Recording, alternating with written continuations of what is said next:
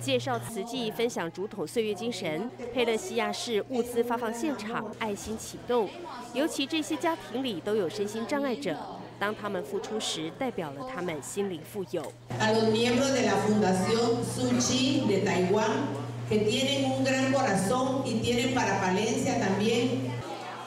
在副市长致辞并鼓励民众之后，发放物资动线顺畅进行。黑豆、食用油、糖、通心面、饼干以及毛毯，让住在高山气候区的他们身心温饱。大爱新闻之声美之工吴慈田、彭静之、瓜地马拉报道。